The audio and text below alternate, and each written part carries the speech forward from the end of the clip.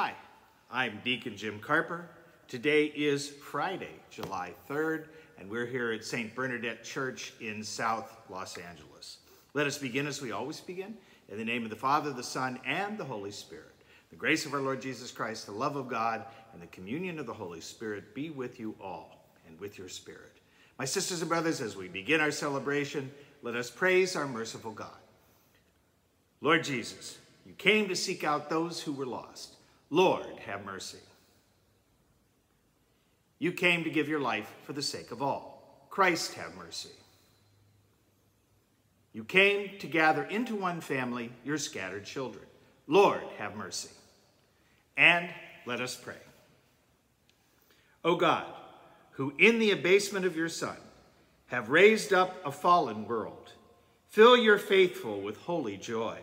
For on those you have rescued from slavery to sin, you bestowed eternal gladness. Through our Lord Jesus Christ, your Son, who lives and reigns with you in the unity of the Holy Spirit, one God forever and ever. Amen. And let us come together as we break open the scripture. A reading from the letter of St. Paul to the Ephesians.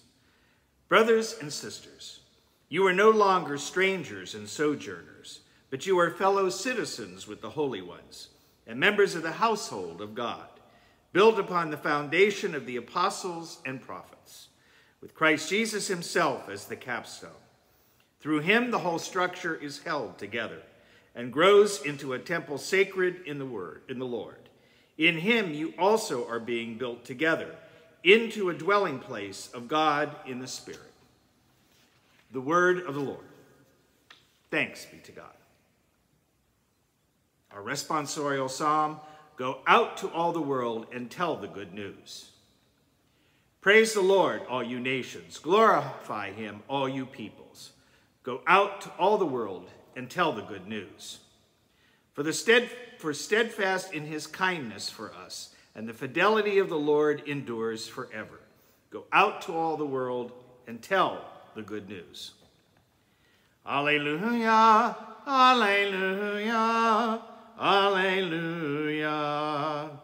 You believe in me, Thomas, because you have seen me, says the Lord. Blessed are those who have not seen, but still believe. Alleluia, alleluia, alleluia. The Lord be with you and with your spirit. A reading from the Holy Gospel according to John. Glory to you, O Lord.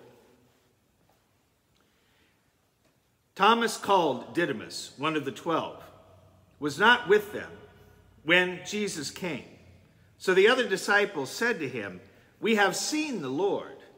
But Thomas said to him, Unless I see the marks of the nails in his hands, and put my finger into the nail marks, and put my hand into his side, I will not believe. Now, a week later, his disciples were again inside, and Thomas was with them. Jesus came, although the doors were locked, and stood in their midst and said, Peace be with you. Then he said to Thomas, Put your finger here, and see my hands, and bring your hand and put it into my side. And do not be unbelieving, but believe. Thomas answered and said to him, My Lord and my God. Jesus said to him, Have you come to believe because you have seen me? Blessed are those who have not seen and yet have believed. The Gospel of the Lord. Praise to you, Lord Jesus Christ. Um, we, uh, I should mention, you know, we, we often use that, we use the term doubting Thomas. We, that comes from actually this scripture. When you hear somebody that, you know, never believes in things or is always the one that says, I don't believe that. Um, but unfortunately, so for that reason, we kind of leave Thomas there and think, oh, you know, he's the guy that he ha everything had to be shown to him. But he did go on to uh, do missionary work in India. Um, he died a terrible death. He was flayed to death. In other words, he was whipped with, with sharp objects until the skin was torn off of him. You often see images of him holding his like skin shroud with him.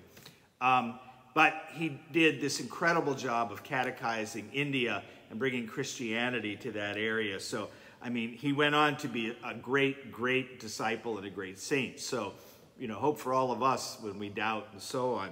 But I, I think he speaks to us in the modern age because, uh, you know, the, the state of Missouri is the show me state. And I think in many ways we um, are show me people. You know, we're, I'm not going to believe it unless I can see it on my cell phone, or I'm not going to believe it unless somebody shows me a picture of it. Or I'm not going to believe it, you know. And we go with this scientific method, you know, it has to be proved. The interesting thing about the scientific method is it, it starts with a belief. It truly does. I mean, for years, for years, scientists have believed, astrologists have believed, astronomers, I'm sorry, have believed that black holes, they, they sincerely believed there were black holes. Now, in order to find something that you can't see, you have to believe it exists. If you don't believe it exists, don't believe it exists, you're not going to go looking for it. But they sincerely believed that there were black holes. It took eight telescopes from all over the world, eight telescopes, perfectly aligned, perfectly split, split second timed, and there had to be perfect weather in all eight of those locations in order to capture an image of a black hole. And so now they know it exists. But to find out that it exists, they had to believe first. And a miracle in and of itself, think about the odds of that happening, of eight, eight telescopes being perfectly aligned, perfectly split second time and having perfect weather, clear weather everywhere. That in and of itself is a miracle, you know, to have that happen.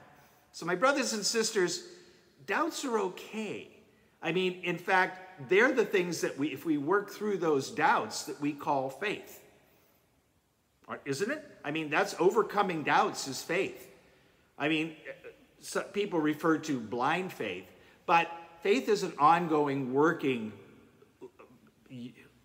developing, um, I almost called it human, it is human, but, but belief is this living thing that within us that is constantly being changed and reinforced and so on. And that's why we have to start with that belief and move forward. A scientist can't discover anything unless they start with a belief first and then go forward. A theory, they would call it, you know. And so, or a hypothesis, they would call it. We do that too. They're not that much of part of the line. So my brothers and sisters, at those times you have doubt, that's good. That means you're searching. Those times you have doubt and you're unsure, that's great. Continue to pray. Continue to read scripture. Continue to have this ongoing conversation with Jesus. Because like Thomas, if you continue, if you persist, if you continue to look, you too will have sainthood. You too will be, have a great moment in heaven. You too will do great things in the Lord's name. Amen.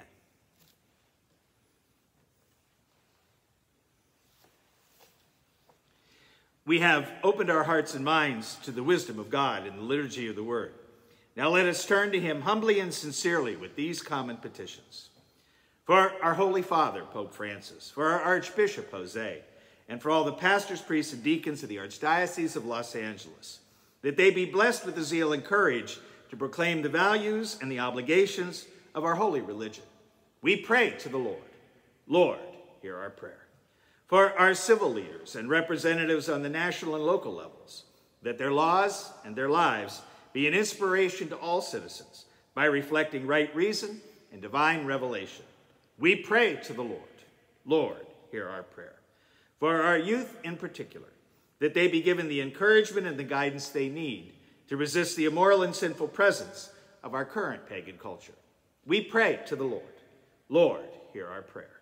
For the sick, the needy, the aged, and the lonely, that they be consoled spiritually by the gifts of grace and also receive care, aid, and loving concern from relatives, friends, and neighbors. We pray to the Lord. Lord, hear our prayer. For those who have died recently, particularly those that have died from the coronavirus, that they may speedily attain the blessedness of heaven. We pray to the Lord. Lord, hear our prayer. We pray that today's families may be accompanied with love, respect, and guidance. We pray to the Lord. Lord, hear our prayer. God of mercy and compassion, bless us by granting these common petitions. For we plead to you in the name of your Son, our Lord Jesus Christ. Amen. And let us come together and pray the prayer our Lord Jesus taught us. Our Father, who art in heaven, hallowed be thy name. Thy kingdom come, thy will be done, on earth as it is in heaven. Give us this day our daily bread, and forgive us our trespasses, as we forgive those who trespass against us. And lead us not into temptation, but deliver us from evil.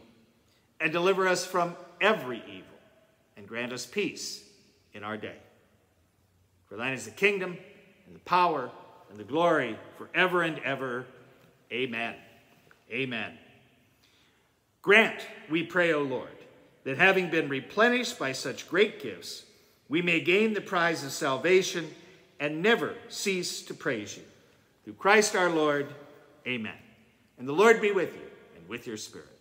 May Almighty God bless you, the Father, the Son, and the Holy Spirit. My brothers and sisters, go in peace, glorifying the Lord by your lives. Doubt, that's okay, but have faith. Amen.